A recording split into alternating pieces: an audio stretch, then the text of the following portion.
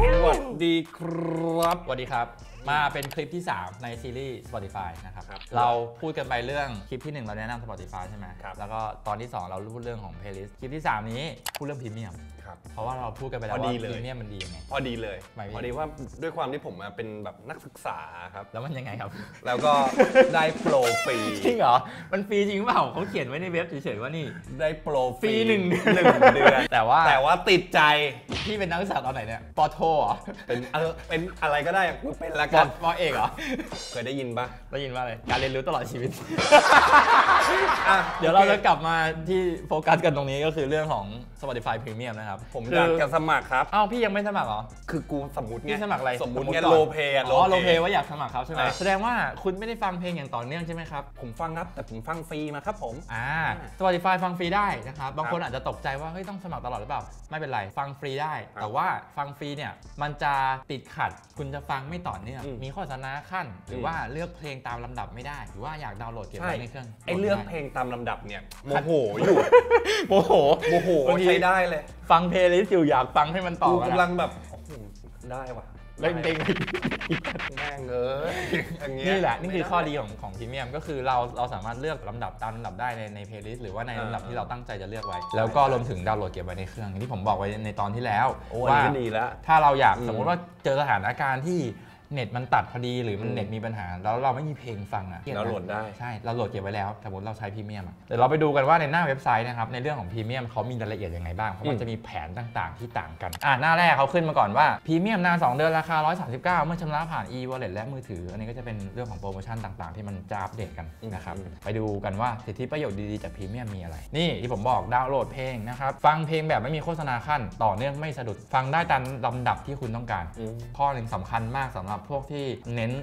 เราเป็นคนสายที่แบบคุณภาพอะฟังคุณภาพเสียงดีขึ้น คือมันเป็นค่าของเสียงที่ถ้าคุณสมมติคุณฟังฟรีกับฟังพรีเมียมอะเสียงมันจะต่างกันนะ ยังไง ถ้าใส่หูฟัง อ่า ผมว่าถ้าถ้าฟังลำโพงกากๆธรรมดา อาจจะแบบไม่รู้เรื่อง อืมแต่ถ้าพี่ใส่หูฟังหรือพี่เป็นคนเล่นลำโพงอะอืมเล่นเครื่องเสียงอะอืม พี่จะรู้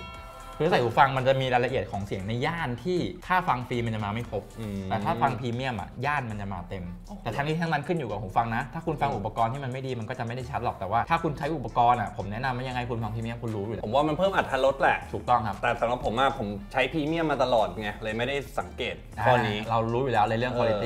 อะ อีกอันนึงลำดับถัดไปเรามาว่ากันในเรื่องของแผนนะครับแผนเนี่ยอืมถ้าเข้าไปดูในเว็บไซต์ของเขานะครับในการสมัครหรือว่าในแอปเนี่ยจะขึ้นมาให้เลือกทั้งหมด 4 แบบ แบบที่ 1 เป็นแบบ Premium Mini ซึ่งใน Premium Mini เนี่ยมันก็จะเป็นลักษณะว่ารายวันมีหลายรูปแบบโปรโมชั่น จริงๆ r a b i s Now เราก็มีโปรโมชั่นอยู่ เดี๋ยวเราไปตามในช่องทางของเราเราจะมีลงโปรโมชั่นไว้เรื่อยๆนะครับใน Premium Miniรายวันนี้ก็น่าสนใจนะคือแบบสมมติว่าไปค่ายไปอะไรเงี้ยเออใช่ไหมเราต้องแบบอยู่ในรถนานๆ หรืออะไรเงี้ยแล้วสมแบมบติคนที่เด็กอะเด็กเด็กอืมที่ไม่ได้ไม่ได้พร้อมสมัครจ่ายรายเดือนใช่แบบตลอดแต่ว่าเฮ้ยพี่ผมอยากฟังเพลงแบบนี้เออรายวันเริ่มต้นที่ 7 บาท เฮ้ยโอเค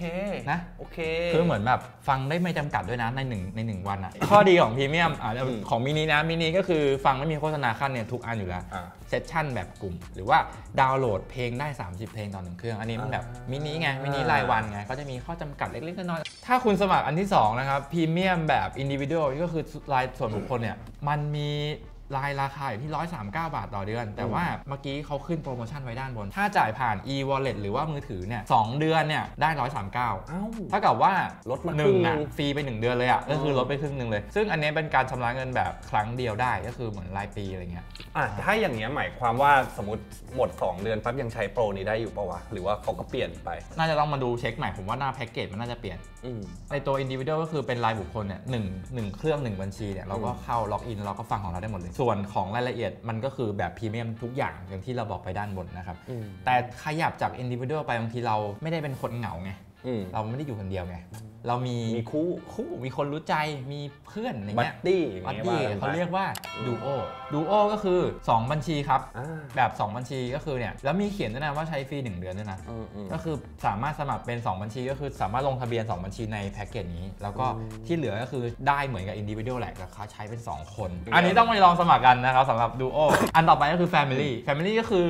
ครับ6บัญชีตามชื่อเลยตามชื่อเลย 6 บัญชีก็คือคนที่เป็นสมาชิกครอบครัวที่อยู่บ้านเดียวกันโลเคชันเดียวกันอืมอย่างเงี้ยก็ 6 บัญชีสมัครไปถ้าอยู่กับแก๊งหรือคนอืมอยู่หอกับเพื่อนอย่างเงี้ยอืมสสมัครไปเลย เฉพาะตอนสมัครถูกไหมถ้าเกิดว่าไปข้างนอกก็ยังฟังได้ของใครของมันก็คือสมัครว่ากันไปบัญชีที่มันอยู่ตรงอ่า user ที่บ้านเดียวกันประมาณนี้นะครับ 6 บัญชี Family ในราคาเพียง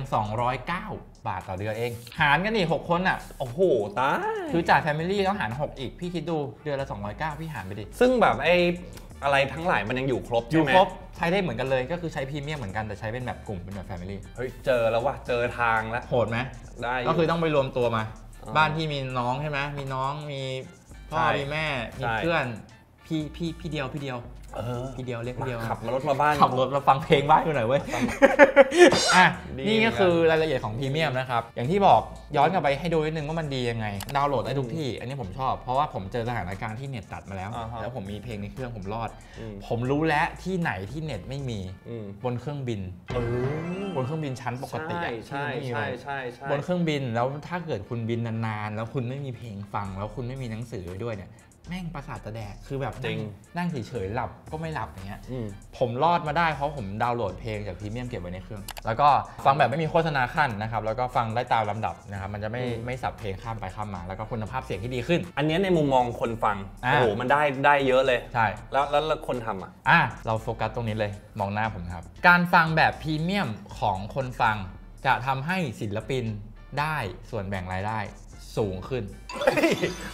โหดป่ะมันคือเหมือนการสนับสนุนซึ่งกันและกันอะเออคือเว้ยคนที่ฟังแบบฟรีเนี่ยโอเค มันก็มีส่วนแบ่งมาให้อ่าศิลปิน แต่ว่าก็ต้องเข้าใจว่าพอเป็นคนฟังแบบฟรีอะแพลตฟอร์มอย่าง Spotify อะอืมเขาก็คือเปิดให้ใช้แบบฟรีแล้วเขาไม่ได้ไม่ได้ค่าสมัครตรงเนี้ยอ่าศิลปินก็จะได้ส่วนแบ่งจากตรงเนี้ยน้อย พอคุณฟังแบบพรีเมียมอะคนฟังเขาจ่ายเงินมาให้คุณอืมแล้วอะอืมศิลปินก็จะได้ส่วนแบ่งจากการฟังแบบ user ที่เป็นพรีเมียมมาฟังสูงขึ้นไงยอดเท่านี้เลย เราถึงอยากให้ศิลปินก็อืมคือศิลปินคนฟังเราก็ถึงอยากให้ใช้พรีเมียมเพราะว่ามันก็เป็นการสนับสนุนในวงการเพลงในศิลอืปินมโดยเฉพาะกับศิลปินอิสระที่แบบอยากสร้างชื่อจากเพลงเขาอาจจะ viral เพลงหนึ่งแล้วเอาตัวเอารายได้มาทำให้ตัวเองมีชีวิตรอดไปจากอาชีพศิลปินเลยก็ได้ ถ้าเกิดแบบได้รายได้จากเพลงเยอะอะไรเงี้ย ซึ่งอันนี้ก็เป็นหนึ่งในเหตุผลที่เกี่ยวข้องในการฟังแบบพรีเมียมผมใช่ว่ารักใครชอบใครนะ ก็พรีเมียมสักหน่อยถูกต้องนะครับนะครับช่วยได้เยอะเหมือนกัน มันไม่แพงอย่างที่เราบอกไปนะครับใช่เทปนี้ก็ประมาณนี้สำหรับเรื่องราวของพรีเมียมนะครับอย่าลืมว่าไปเช็คโปรโมชั่นในเว็บไซต์แล้วก็สมัครกันได้เลยมีให้เลือกมากมายนะครับยังมีเรื่องที่เราอยากจะรู้อีกเยอะมีเลยคเรารับมีอีก 3 มีอีก 3 คลิปในซีรีเดี๋ยวส์ต้องรบกวนพี่ฮอกอีกสักสามคลิปแล้วกันรบกวนกันนิดหนึ่งรบกวนอะไรพี่เตรียมสคริปต์เหรอเฮ้ยเรามีเรื่องไปแล้วเดี๋ยวเดี๋ยวคลิปหน้าเราจะมาพูดเรื่องอะไรกันไปดูครับ โอเค เจอกันครับ สวัสดีเจอกัน